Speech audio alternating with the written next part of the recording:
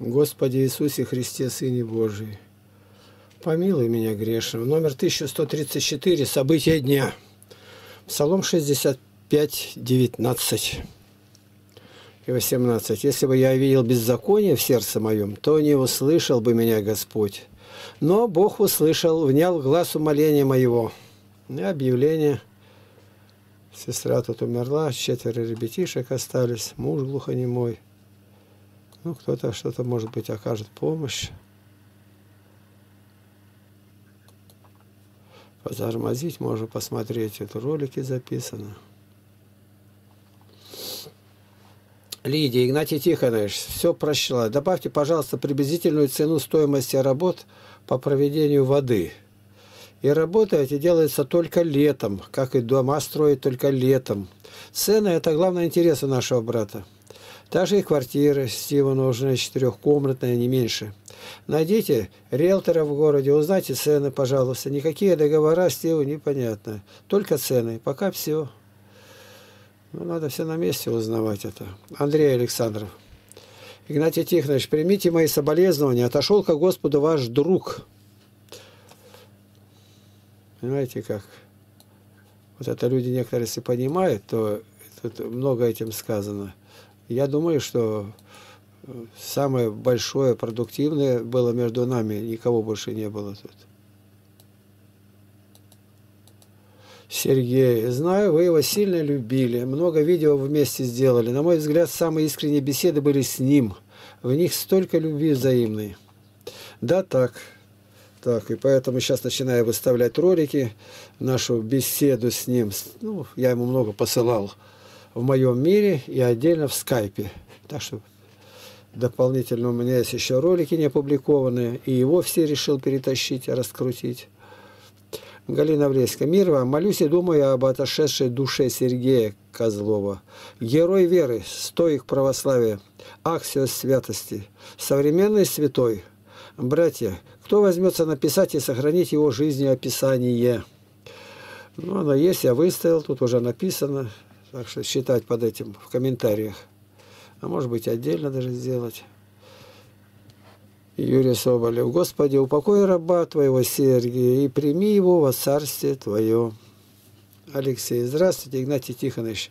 Вот созрел ваши книжки приобрести. Интересует Новый Завет с толкованием и к истину православию. Скажите, пожалуйста, сколько это стоить будет с доставкой до Нижнего Новгорода? Ну, я ему все скинул, пока ответ не получил. Вячеслав Миров, Магнатий Тихонович. В общем, такая ситуация. Камера, которую я взял, перестала включаться по приезду, заглючила. Пришлось снимать на телефон. Качество не очень хорошее получилось. Фотографий почти нет, только видео. На мой телефон вошло немного. Снимали еще на другие телефоны. На телефоны Дмитрия много записали. Но и там случилось непредвиденное. Несколько последних записанных видео не запускаются. Постараемся на компьютере извлечь, что сможем. Интересно как. Сергей, когда крещение принимал, сколько съемок было, у него аппаратура хорошая стояла, нигде ничего нету, как будто кто стер. Сергей. Спаси Христос, в школьные годы восхищался подвигом Николая Островского, но он был заблудшим человеком, принимавшим участие в гражданской войне, но сильным духом.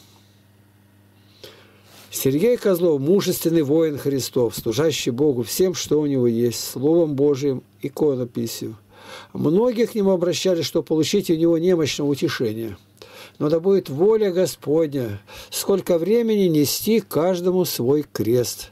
Да укрепит Господь душевные и телесные силы Сергея Козлова, чтобы все перенести и наследовать Царствие Божие, которое он видит еще при своей жизни в храме своего тела. Аминь. Царство Небесное нашему брату во Христе Сергею Козлову. Это много таких записей. Вячеслав, если есть контакты, телефон ВКонтакте, одноклассники, прошу поделиться, Вячеслав. У меня только телефон Сергея Козлова. На этот номер не ответили. Сергей парализованный. Еще нет. Татьяна Ильинична, вот мама. Я ему сразу скинул, какие тут телефоны. И Сергеев телефон. Ну, я, я думаю, он не пропал никуда. Может быть, она пока не настроена ни на какие беседы. Позвони в другой раз. Не дергать сейчас звонками-то. Как считаете, правильный будет или нет? Сейчас залью еще один архив, разбитый на две части. То есть нужно качать два файла, а потом уже распаковывать, так как система не пропускает более 2 гигабайт. Приходится разбивать. Нет. Даже три части вышло. Часть первая вот. вот. Я отвечу, судить о ее настроении мамы Сережиной сложно. Она почти неверующая, как и считал ее сын Сергей. Поэтому, чтобы в дальнейшем не было укора в нашу сторону, придет она или не придет, но в этот печальный момент лучше всего ее пригласить и спокойно рассказать все. Этот вариант более приемлем печальному. Ее не оставили, они заботятся. А так, может сказать потом, все забыли, я никому не нужна была. Звоните, стучите непрерывно. Наталья. Отец Игнатий, мир вашему дому и благословение Господне да пребудет на ваш дом. Просмотрела ролик, где вы в чате, рулетка, одна только радость в душе. Благословенный день был, и в то время люди попадались неплохие, и столько много успели сказать. Я очень ценю в людях общительность. Человек общительный с любым может заговорить, расположить его к себе. Я тоже такая, мне муж даже говорит, не надо быть таким общительным. Игнатий Тихонович, я вижу в этом промысел Божий. То, что и в этом чате вы можете благовествовать, в отличие от раздачи Евангелия на улице. Тут в этом чате много кто будет к вам прислушиваться. Ваш возраст и внешность притягивает молодежь. Им интересно, почему такой дедушка и в чате находится. Так вы и будете проповедовать за компьютером, не отходя от дома и ролики интересные будут. И за такое благовестие ни один священник не берется, так как знание с вами равно нулю. И нет опыта такого, как разговаривать с людьми разных убеждений. Спаси Христос вас и благословит Господь на такое ревностное дело. Вы показываете вашу любовь к Богу и ближнему. Ну, что на это сказать? Какие знания мерить? Ничего не знаю. Я просто встречаюсь, разговариваю, беседую. У меня нет образования никакого. Я самоучкой все достигал. Это для, главное для меня это молитва. Молитва, Слово Божие, а там уж как Бог примет. Нота. Вот об этом говорит в чате. Не просто в чате, а рулетка. Рулетка называется. Вообще удивительно.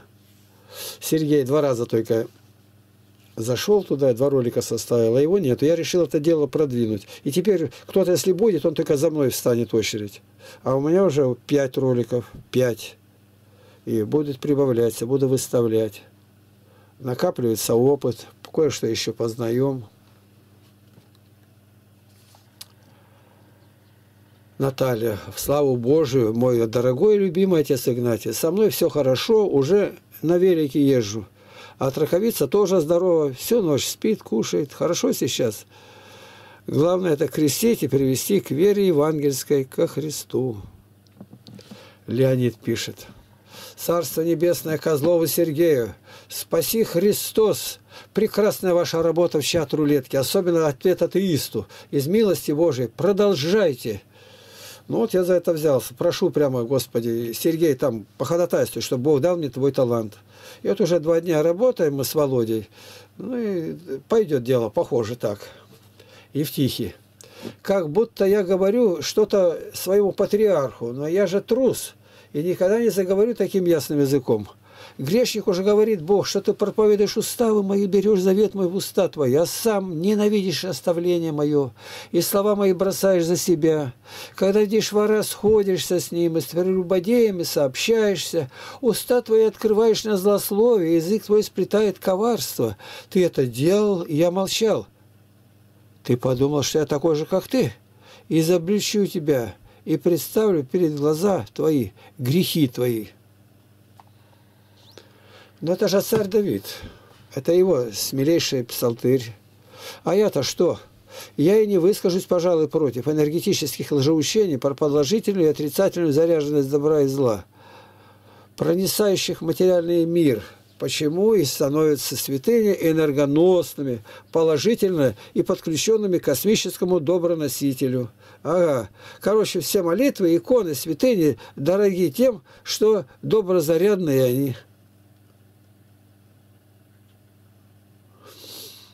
Ага. А учиться молиться лучше игрой в молитву с игрушечными облачениями, игрушечными евхаристическими приборами. Это и в Тихе пишет патриарха. Стынет кровь и разум, кипит от всех этих кощунственнейших кощунств.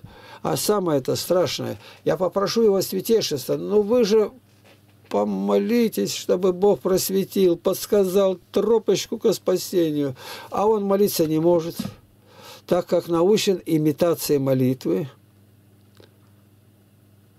и преодолевать ее не сможет. Вот это наше горе. Но его мы заслужим. Игнатий Тихонович эстафету принял.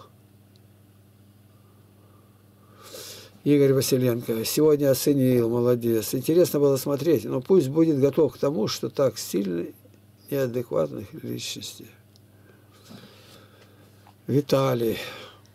Преисподняя, но там и души предуготовленная, потому как Господь побудил – побуждал. Ведь Сергея именно туда идти и благовествовать-то. Ловец и человеков Игнатий Тихонович. Дмитрий Лемеш. Эмоционально очень тяжело, конечно, но когда такая публика, очень. А Иван, мериться познанием – это велико. Я вот ничего не знаю, как быть. Виталий, учиться, учиться, учиться. Иван, да? Виталий, как Ильич завещал, Дмитрий Лемеш. Наша радость от трудовых успехов тоже. Это Вил сказал Ленин. Мериться познаниями – это велико. Я вот ничего не знаю, как быть. Иван Артюшкин. Только обычно так рассуждают те, кто многое чего знает и умеет, сужу по своему опыту. Роман, как быть? Ответ. Любите людей и Бога. Слава Отцу и Сыну и Святому Духу. Если нет любви, то просите ее у того, кто и есть любовь, слава Святой Троицы. Родители, которые вытаскивали своих детей из-под автомобиля, тоже не знали о том, что они смогут в одиночку поднять авто. Но они делали это якобы по любви к своим детям. Евгений Евтихий ждет, жжет глаголом. Как будто я говорю что-то своему патриарху, но я же трус. Это как бы повторение было. Прав ведь парень, Дмитрий Лемештадт. Епископ Евтихий жжет глаголом, Виталий Колесников. До этого тоже посмотри, но говорит-то правильно, Виталий. А ведь наверняка Евтихий о святой десятине не учит и приторговывает свечами, записочки и прочими поповскими штучками. Так что далеко ли ушел от Владимира Михайловича Гундяева? Гражданское имя патриарха. Виталий. Да, да, не берет залез в систему, которая не даст исполнить Слово Божье. А Лапкиных и не помянет даже страха ради.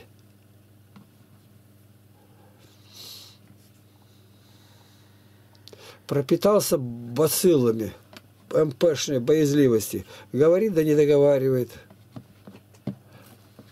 Виталий. Но и такой на фоне МШной ваханалии в лице народа герой.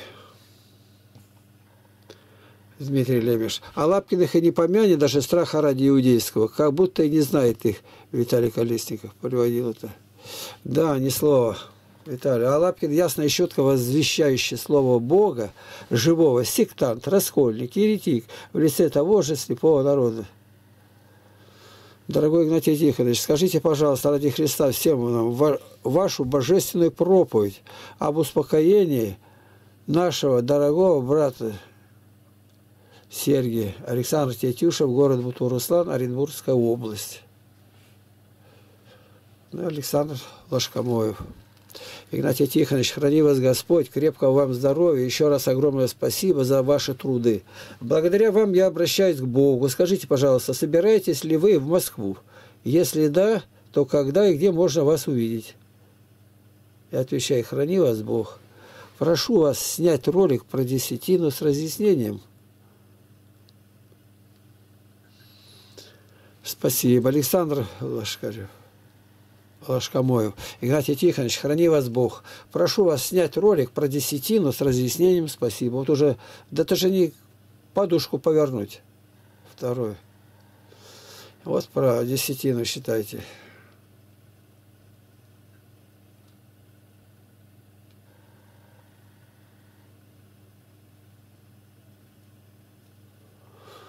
Дальше просто сами прочитайте тут места.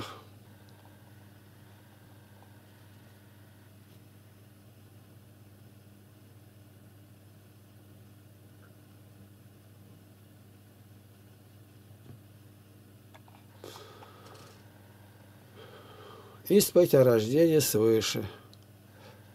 Здравствуйте, Игнатий Тихонович. Меня зовут Светлана, я живу работаю много лет в Шотландии, я православная. Но путь к Богу был для меня очень тернистым и сложным. Я буду продергивать вперед, читайте. Евгения Злофаста, это Геннадий.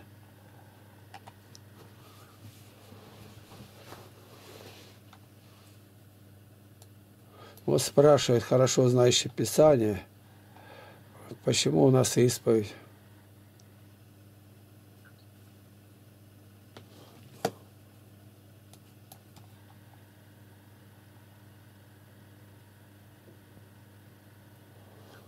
Прочитали.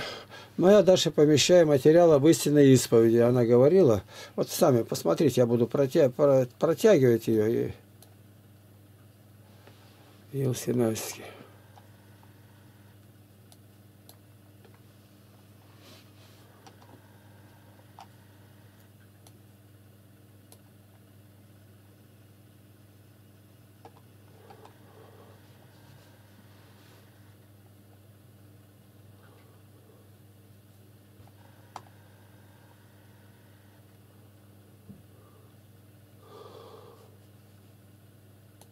может дольше задержать. Просчитайте. Очень интересно для тех, кто исповедуется.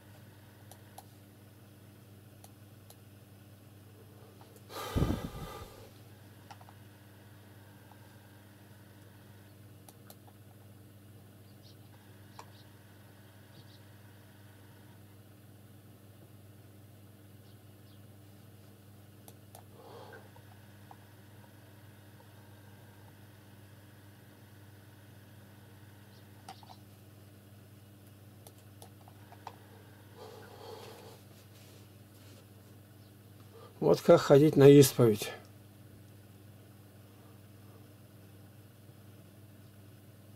Вот Сергей мне выговор делает, что я выставил ролик. Это черновик. Я не знал.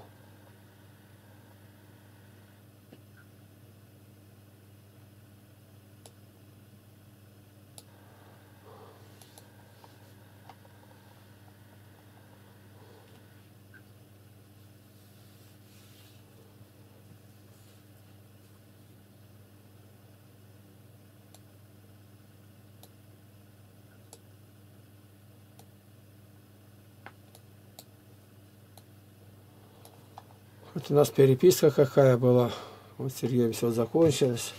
Ну и, можно сказать, события дня. Занимаюсь сейчас роликами, выискиваю, к себе перекачиваю, где в беседах с кем-то или со мной Сергей Козлов участвует. Все, пока.